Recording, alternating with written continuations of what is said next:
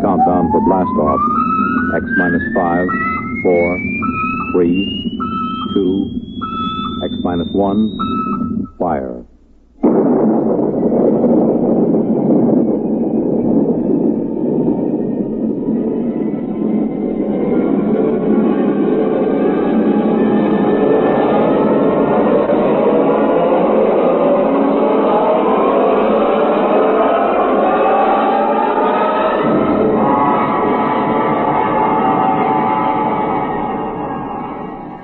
From the far horizons of the unknown come tales of new dimensions in time and space.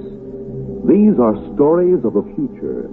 Adventures in which you'll live in a million could be years on a thousand maybe worlds. The National Broadcasting Company, in cooperation with Galaxy Science Fiction Magazine, presents X, X, X, X, minus, minus, minus, minus, one.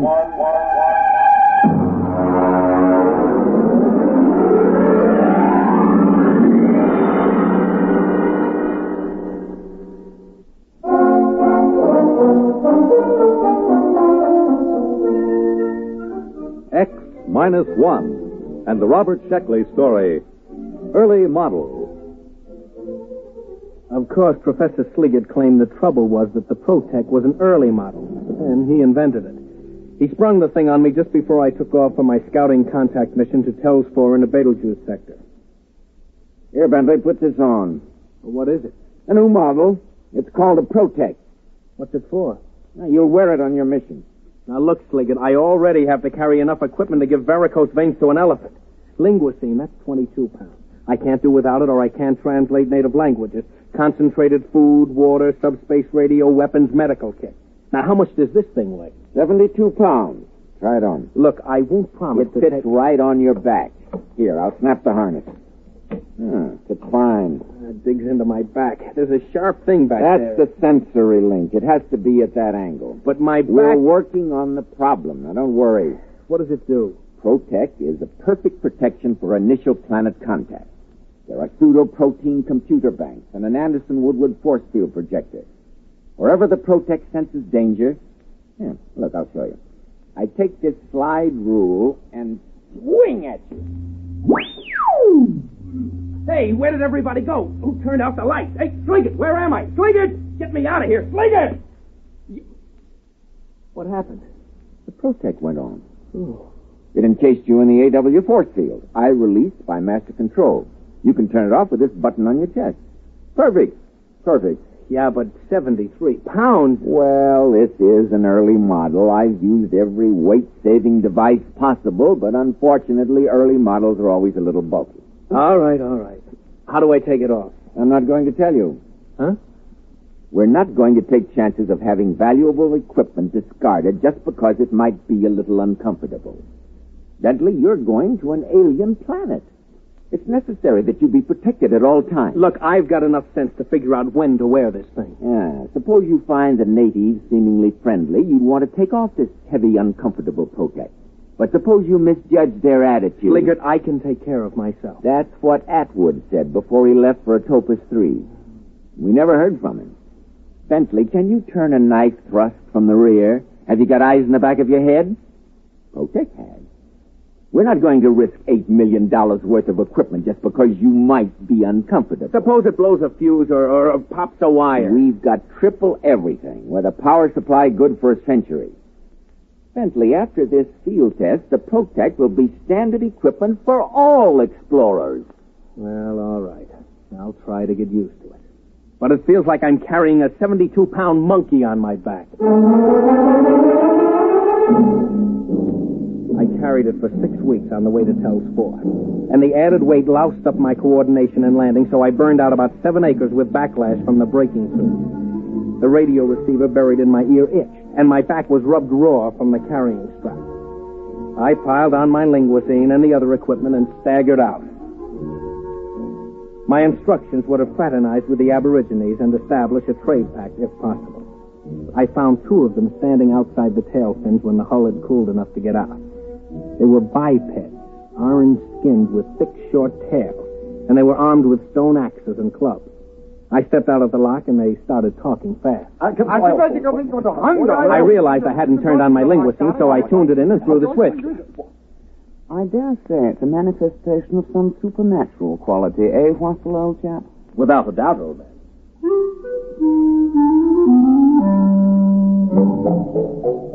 You know how the linguisting works, instantaneous semantic translation. Well, mine was made by the Gorley Laboratories just outside London, and naturally they had the word tapes recorded by BBC announcers. It takes a little getting used to when you hear some walking vegetable from the Canopa system talking like the home service. Well, the Tellians were pretty excited by my arrival. How strange. Unbelievable. Most improper, you know. I suppose it can talk. I. I come as a friend. A friend. Well, Does talk. Dreadful accent. But what can you expect, eh? foreigners, you know.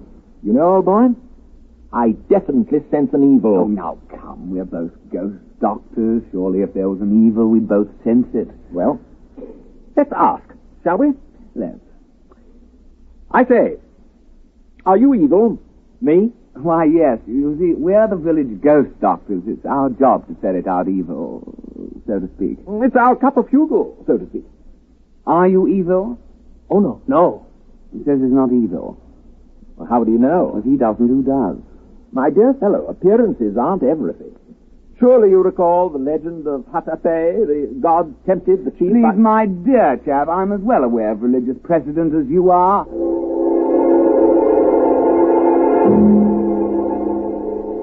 The two of them stood there, lashing their orange tails, accusing each other of heresy. The linguistine finally couldn't handle the theological discussion and cut out before Overload blew a circuit. Eventually, they must have decided something because the short one carrying the stone axe turned to me. Stranger, we've decided not to kill you. Not yet, anyway. We'll go to the village and purify ourselves, then we'll initiate you into the club. The club? The Society of Ghost Doctors. You see, no evil thing can become a ghost doctor. It just isn't done, you know. Oh, we'll find out the truth that way. Hmm. Clever. Eh? I'm deeply grateful. But if you're evil, we'll destroy you. Have to. Our job, you know.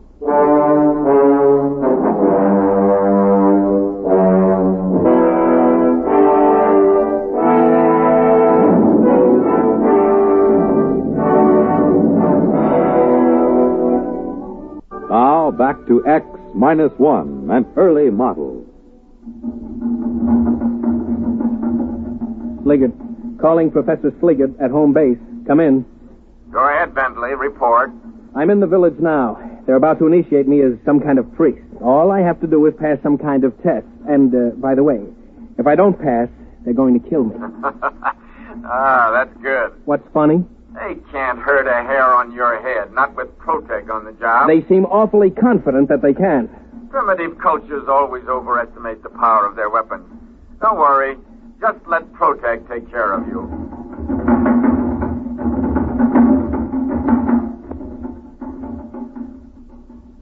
Go ahead, old boy. It's purified ceremonial food. But I can't. Why not?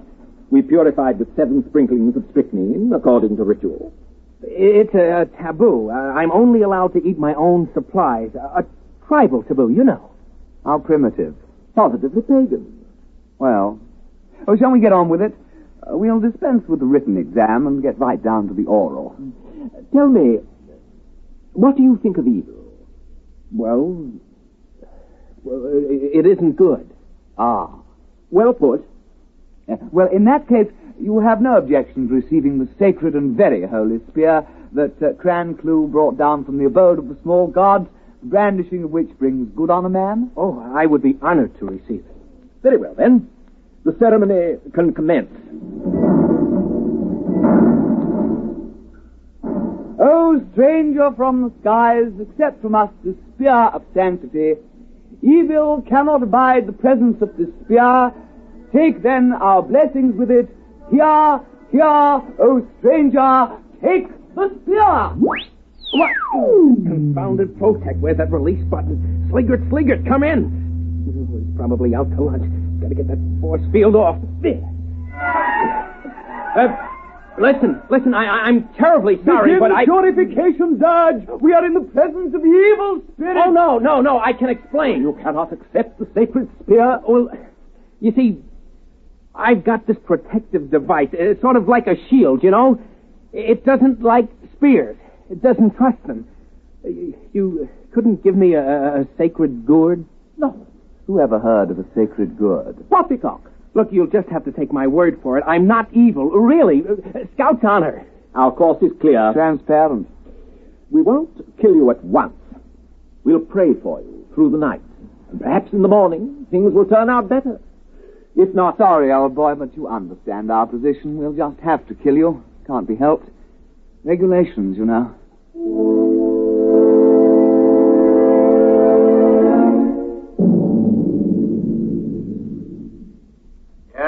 Yes, Bentley, I understand.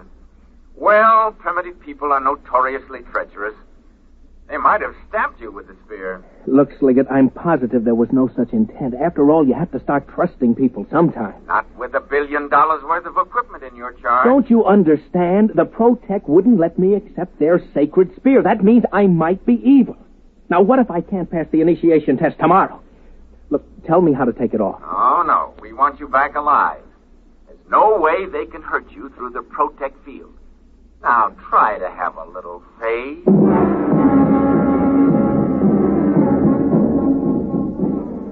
The campfires burned all night, and I could hear the chants of the ghost doctor. At least three or four times during that night, the Protec force field howled on and off, but I was too tired to care. In the morning, the two Tellians came to see me and stood switching their fat orange tails politely, while the linguisine translated for me. There were great sounds from your hut last night, sounds of torment, uh, as if you were wrestling with the devil, so to speak. I'm a restless sleeper. Yes. Yes, of course. Quite. By the way, old thing, did you pray for purification last night? Hmm? Oh, yes, yes, yes, I did. And was your prayer granted? Yes, oh, yes, sure, certainly. Not a, not a bit of evil around me. Well, if you can't be initiated, we'll have to destroy you. We made that clear, didn't we? Oh, yes, quite clear.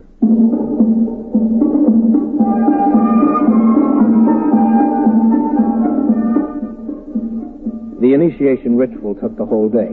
It was sort of a cross between a Shriners convention and a performance of Das Rheingold at the Met. Luckily, no one tried to hand me a ceremonial spear or point a club in my direction, so the Protec kept its grimy force field to itself. Finally, around supper time, the Tellians pounded the last tail on the ground, and everyone stopped and paid close attention. Oh, brothers, this alien has come across the vast emptiness to be our brother. With this initiation, we purge him of evil and make him one of us. Brother, now you are a ghost doctor with all the privileges and perquisites pertaining thereto. And in friendship, I extend to you the claw of friendship. Well, thanks. You have only to shake claws, and the ceremony is concluded. All right, brother. Give me some skin. Slip me seven. No, no, listen, turn it off. He just wants to shake hands. You're spoiling everything. Off, off. Now, where's that button? Off. Evil, evil, evil. Well, there it is, you know. We hoped we could muddle through, but you can't win them all, you know. There's only one thing left. Kill the devil!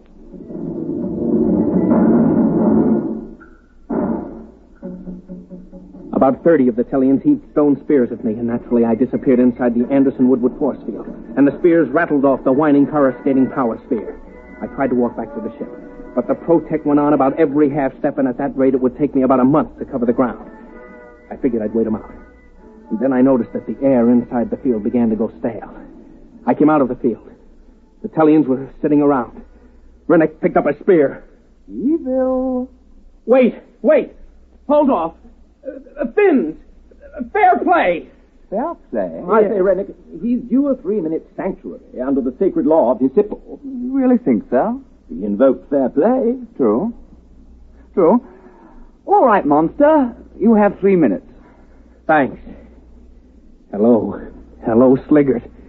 Come in, Sliggett. Ah, there you are, Bentley. Listen, you've got to get me out of this. They're trapping me in the Protec. You mean the Protec is saving you from harm? No, no, they keep activating it. They'll starve me out. Now, don't get panicky. Just sit tight in the Protec field till they see they can't harm you. You confounded idiot. There's no air in there. The force field cuts it off. I'll choke. Oh, oh dear, that's true, isn't it?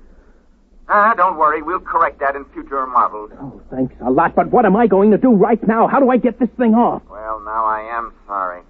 To tell the truth, I designed the harness so that you couldn't get out under any circumstances. Oh, you lousy. Please, please, let's keep our heads. You can hold out for a couple of months. We might be I able to. can't. The air, the water. And I hate to mention it, but they seem to be building fires around me. I'm sorry, your three minutes are up. We are going to destroy you with fire. Yeah, it's traditional that way. Uh, my dear chap, would you like to kindle the first blaze? Oh, after you, old fellow. Remember, I burned the last evil monster. True, true. Oh, uh, Monster, Yes? do you have a light?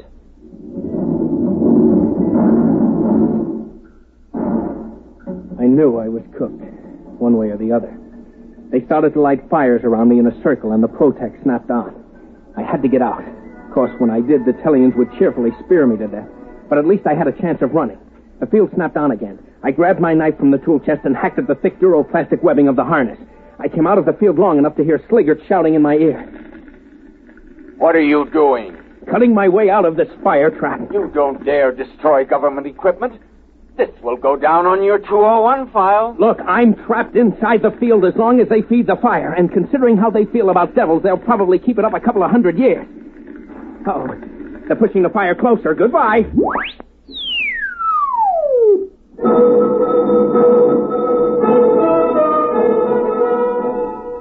I tore at the straps with my wire cutters and knife. I could only work when the field was off. The Protec protected itself. Finally, I ripped the harness off just as the field went on, and I was thrown 20 feet into the fire. But I landed on my feet and was off and running.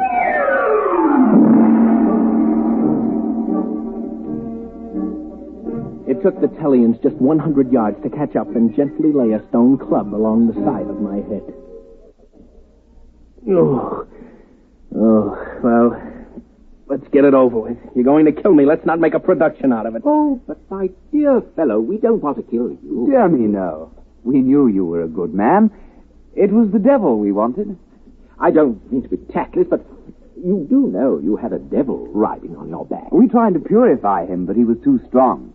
the fire took the starch out of him, though. The devil. Devil on my back. Oh, yeah, yeah, I, I, guess so, yes. You know, our village is very proud to have such a powerful devil chained up inside a fire ring. Uh, tell me, my dear chap, you haven't by any chance any more devils like that in your homeland? No, that's the only one. Pity. Huh? We'd really be tickled orange if we could have a few more uh, to worship, you know. You mean trade for them? Why, yes. I'm sure every village would want one. Well, I think that can be arranged, and you haven't seen anything. We'll sell you devils that really are devils. After all, this one is just an early model.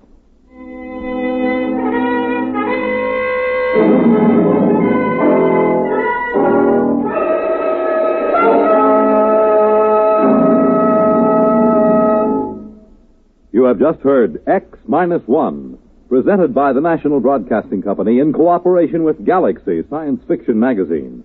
X Minus One has brought you Early Model, a story from the pages of Galaxy written by Robert Sheckley and adapted for radio by Ernest Kinoy. This is Fred Collins speaking. X Minus One was directed by Daniel Sutter and is an NBC Radio Network production.